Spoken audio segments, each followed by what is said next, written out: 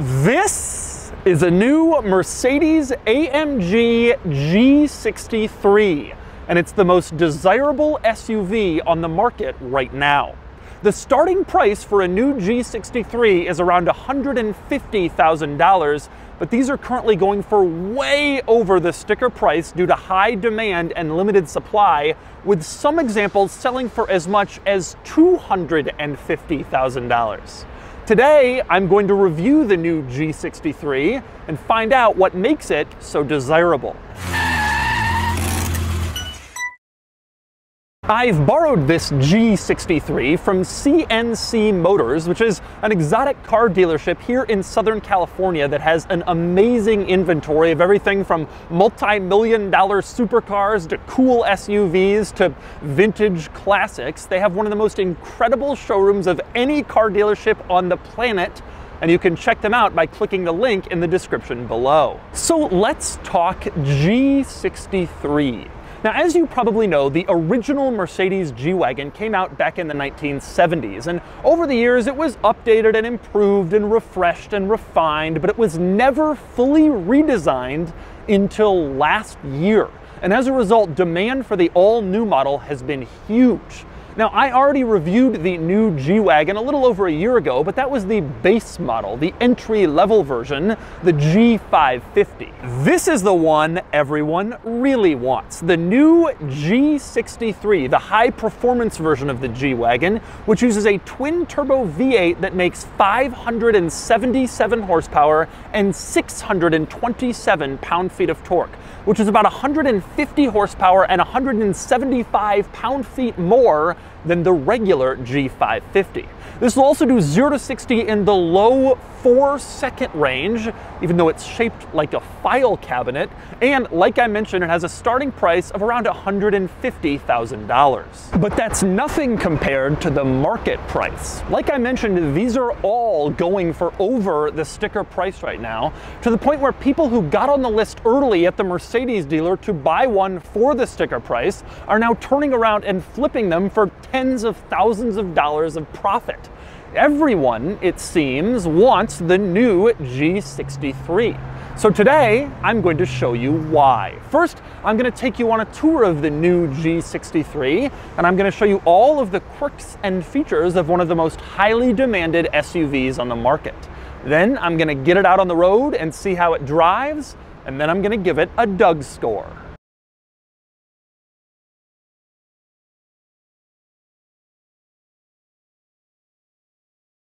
All right, I'm gonna start the quirks and features of the new G63 on the outside, and I wanna talk about some of the more interesting upgrades you get if you get the AMG version. Now, like all AMGs, it comes with your typical stuff. For example, larger wheels with a different design than what you get in the regular G550. And you also have larger brakes with red calipers to signify this car's performance upgrade. But for the G63, the upgrades go a bit further than that to some interesting items you don't get on other Mercedes models, like for example, the front bumper situation. You have a more aggressive front bumper, which is typical of AMGs, but you also have this like brush guard thing. This may be an option in the regular G-Wagon, but it's on all of the AMG models. This is the high performance G-Wagon, but it's also ready for the brush when you take it off-roading. It can push aside trees and you're very expensive luxury SUV, not a typical AMG modification. But my very favorite exterior AMG modification for this vehicle is the exhaust pipes. All AMG cars have quad exhausts, two on each side for four total, but with the G-Wagon, there's a problem because it doesn't have rear exit exhaust like all of the other AMG models and pretty much every other car. So what did they do?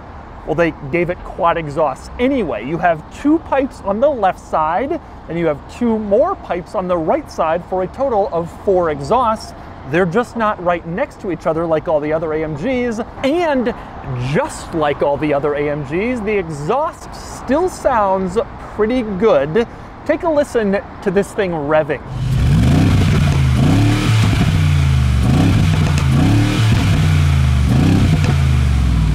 But when it comes to sounds, the best noise the G makes is not the exhaust, but rather the doors. When the G originally came out, it was a military vehicle 30, 40 years ago, and the doors always closed with this very satisfying click sound. This is one of the things people liked the best about the old G-Wagon, and so even though Mercedes-Benz completely redesigned the G-Wagon and made a totally new one, they kept that door latch sound from the old model. Just listen for a minute.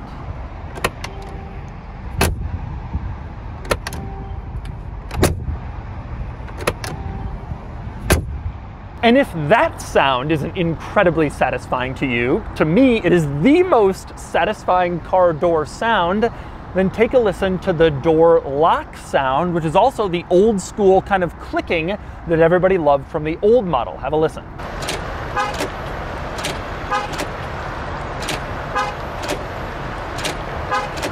To me, those noises will be forever associated with the G-Wagon and that solid sound that the doors make when they click and when they lock is one of the reasons people love this car so much.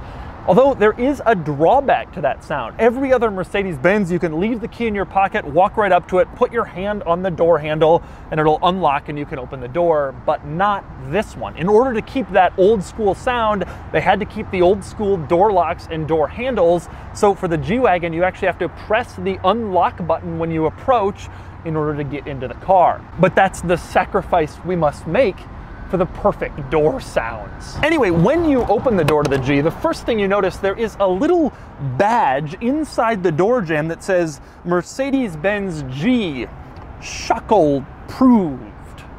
That's right, this vehicle is Schöckl proved, and your crappy off-roader is not Schöckl proved. Whatever that means. No, apparently that's some mountain in Austria where they test the G-Wagon during development, sort of like Jeep's trail rated badge for the Rubicon Trail, but they stick it right in there and then it says Schöckl proved as if you're supposed to know what that means or care. Kind of weird. And next we move into the Schöckl-proved interior of the new G63. And the first thing you notice in here is that the interior is just a massive upgrade over the old model. I already covered this in my review of the G550, but it is worth noting if you've been in the old G-Wagon, you get in this, you'll hardly notice a resemblance. It's a big upgrade. Now, the materials and technology are obviously a lot better than the outgoing model, but to me, the biggest upgrade in here is the interior room. The new G-Wagon looks the same as the old one, but actually it's five inches wider, and all five of those inches have gone into creating more interior space. The best example of that is the cup holders. The old G-Wagon had that ridiculous basketball hoop cup holder hanging off the center console in the passenger footwell. The new one has two rational cup holders side by side in the middle in the center console because now they have room for it. And there's other modernization beyond just that. For example, the gear lever was stuck in the center console in the old one, which took up a lot of space along with the parking brake. Both of those items are now gone. You have the gear lever on the steering column and the parking brake is a little switch in the driver's footwell. And that frees up more room for storage and for buttons and switches in the center console and to just modernize this interior dramatically. With that said, despite the modernizations in this interior, the G-Wagon is still a tremendously capable off-roader, and there are still some reminders in here of its capabilities. For example, over on the passenger side of the dashboard, you have a grab handle. And this thing is not just for show. You can pull this as hard as you can, it won't come off. The intent is that it gives you something to hold on to when you're going over rocks or off-road terrain. And similarly, right in the middle of the center console, you have your differential locker buttons. This is where other Mercedes-Benz models would have an extra climate control vent but not the G-Wagon. You have the buttons that will lock the diffs, and you still have three separate lockers, one for the center lock, and then another for the front or rear, which can be locked independently. Now, most people who buy this car probably don't even know what differential lockers are, but they're very useful when you're in extreme off-roading situations. And one of the reasons people pay so much for the G-Wagon is because they know that capability exists. And that's not the only important off-roading button in here. If you go into the center console, console, you have a few buttons. Over on the passenger side, one is marked low range, and that's your low range button, which of course will be useful also in difficult off-roading situations. But anyway, let's talk buttons in this center console area because there are some unusual ones. Over on the driver's side, you have a button that looks like a shock absorber. You press that and one light lights up on the button, putting the suspension in sport mode. You press it a second time and another light lights up on the button, putting it in sport plus mode.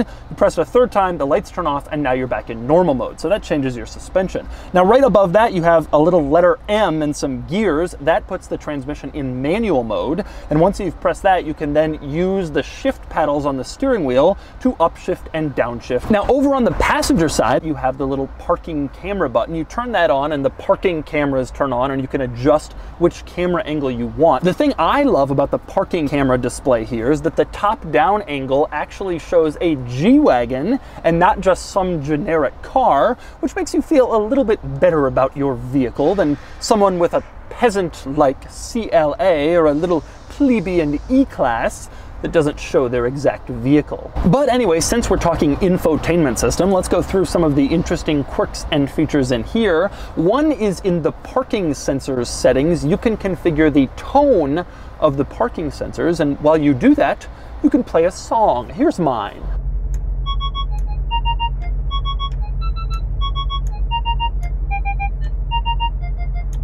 And next up, speaking of the parking related settings in the G, in the parking settings you have an option to open the camera cover. And when you click on that, the reverse camera pops out of its little cover, which is in a little circle in the tailgate. Now this is interesting. When you're not in reverse, that parking camera goes back into the cover to kind of provide a cleaner look in back. But when you go into reverse or when you manually open the camera cover, it pops out. So you're thinking, well, why would someone someone want to open the camera cover themselves if they're not in reverse? And the answer is to clean it. In case the camera gets dusty or dirty, you can manually open the camera cover, go back there, wipe it off. And next up, I want to talk about the infotainment system itself. This vehicle, like all the new G-Wagons, has Mercedes kind of dual screen setup, but this isn't Mercedes' most recent version of this system. And as a result, it's not as good. And I say that because it isn't a touchscreen. The newest Mercedes-Benz system is called MBUX, UX, and it allows you to control it as a touchscreen or with this little controller in the center console. In the G-Wagon, you can only use the controller in the center console to control things, and it's just not quite as intuitive or as easy as if you had the touchscreen option as well. It's interesting because this car is probably only about a year old, but it's amazing how quickly these systems already start to feel outdated when new ones come out. And it's the same deal in the gauge cluster. The gauge cluster is a full screen, which is the most modern up up-to-date way to do it, and it is excellent. Now, you can configure a portion of the screen to show various different information, like for example, your phone settings or your radio settings, if that's what you want to see, or your vehicle information. It'll show you how much horsepower and torque and boost you're currently using, but it just doesn't have the ultimate configurability that the newest Mercedes-Benz MBUX system has, where you can basically put whatever you want in that gauge cluster if you want to see something specific right in front of you. Again, it's good, but it just has already become outdated very quickly. And next we move on to the back seat in the new G63. And the first thing you notice when you get back here is, of course, the sizing. It's better than the outgoing model, but it still isn't really all that big. Despite the Mercedes G-Wagon's outward appearance and sort of its reputation, it is not a very big SUV. The new G-Wagon is only three and a half inches longer than a Toyota Corolla. And so the result is that the back seat isn't that huge. The front passenger seat is where I would be sitting, and as you can see, my knees are right up against the back of the front seat. There's just not all that much room for your legs and knees back here, although I will happily admit there is tons of headroom thanks to this vehicle's file cabinet-like design. Now, with that said, there are a few nice creature comforts back here. For example, you have a rear seat climate zone. Back here, you have a third climate zone, and like you can see, you can adjust it with these little switches in the back of the front center console. One thing that is both surprising and unusual in the world of back seats is the floor mat situation back here because there are three individual floor mats. You can see there's one on each side and there's one weirdly shaped small center floor mat. Basically, every other SUV has one large floor mat that goes across the entire floor in the back seats, but not the G-Wagon. Now, I will say one disappointing factor with the back seats in the G-Wagon is getting them to fold flat if you want to increase your cargo space in back. Virtually all other luxury SUVs at this price point have a little button you can push in the cargo area that will electronically lower the seats for a larger cargo area but not the G-Wagon. And when you actually go around to the seat to put it down, it isn't especially easy there either. First, you have to fold up the seat bottom, and then there's a latch you pull that folds forward the seat back in order to get it flat, so it's a two-step process, far more cumbersome and difficult than any other luxury SUV on the market. Something to be aware of if you plan to frequently drop your seats to put larger items in back. And speaking of difficult and cumbersome, let's talk about getting into the cargo area of the G-Wagon. I say difficult and cumbersome because it has a rear door and not a tailgate, unlike basically every other SUV. And the reason for that is everybody likes the look of the G-Wagon. You have this squared off rear end with a tire and tire cover mounted on the back.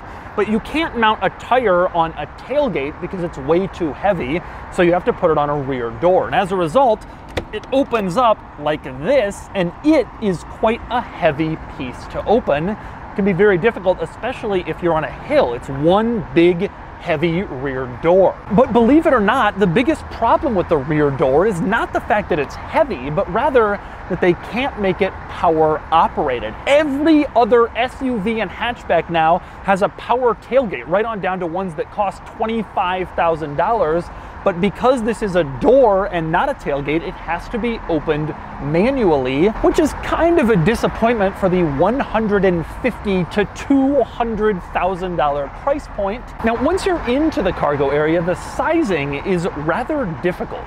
You do have a nice flat load floor, and of course, because this is a boxy vehicle, you have a tall, boxy space where you can put stuff. But the G-Wagon is smaller than most other SUVs at this price point, and that's reflected in the cargo area, especially on the sides where the wheel arches kind of come in and really compress the cargo area and make it pretty narrow. It is not a huge cargo area back here, but anyway, there are a few other interesting exterior quirks and features worth discussing with this car, one of which is the running lights. You can see they're circles. The G-Wagon has this signature front end circle headlight look like a lot lot of capable off-roaders, but in this case, they've been able to integrate the modern LEDs into those circles, which kind of blends new and old. And next up, another interesting look on the outside of the new G-Wagon is the rain gutters, which are exposed.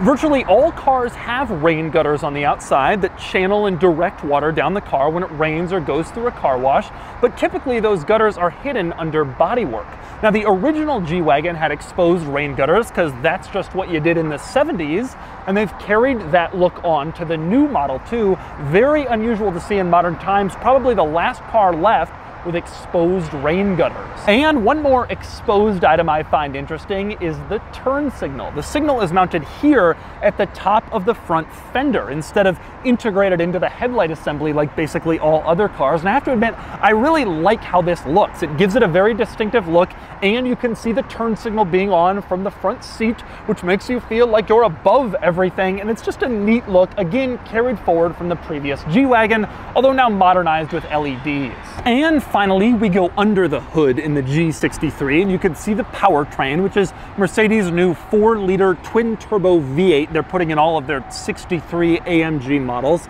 It's a fantastic engine, and in this vehicle, it puts out 577 horsepower and 627 pound-feet of torque. Just massive numbers for a vehicle this size. 0 to 60 is in the low four second range. Just crazy considering the aerodynamics of the G-Wagon. And so those are the quirks and features of the new Mercedes AMG G63. Now it's time to get it out on the road and see how it drives. All right, driving the new G63. It surprises me to admit it, but there is a lot to love about the new G63. And I say that surprises me because the old model uh, I really thought was crap. Uh, the interior was not that good. It was not a great car to drive. In fact, it was quite a terrible car to drive. I felt it was vastly overpriced. Um, there were not a lot of good things to say about it. But the new model is a vast improvement to the point where you don't just buy this because you want to look cool. You actually buy it because it's a good vehicle. And I think one of the best luxury SUVs on the market. For one thing, this interior, huge step up over the old G-Wagon, tremendously more comfortable, far more interior space. It just feels like a much, much nicer place to spend time because it is. The driving experience is a thousand times better. Um, this car is more comfortable than the old model. It's easier to drive. The steering is a lot better. Um, vastly, vastly improved. There are a lot, a lot, a lot of benefits to the way that this one drives. Feels more stable, feels more planted on the road, a far more rational and luxurious car. It is far more comfortable than the old one. Sitting in here, it just feels nicer, more luxurious. Uh, you don't feel the road as much it's it's hard to overstate the difference, which is actually interesting because they didn't really change the appearance all that much. The G still looks pretty similar, but it is just vastly better in terms of an actual vehicle. Now, as for the acceleration of the AMG version,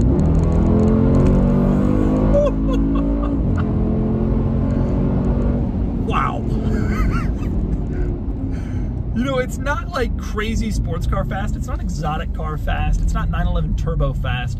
But this is a boxy, blocky SUV that looks like a file cabinet. And that to me is the crazy thing. There's an expectation that's exceeded here. When you get in a 918, you expect it to be fast. When you get in this, it's like, I can't believe they've made this ridiculous thing fast. It also steers and handles so much better than the old model. Not only is the ride just far more supple, but they've also been able to make it steer more precisely. I truly can't say enough nice things about the way this car drives. And I know I know that generally speaking, these are bought by obnoxious people.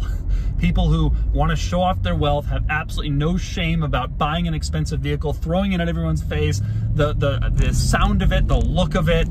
Um, but in the past, I judged the hell out of those people because they were compromising on everything to get that.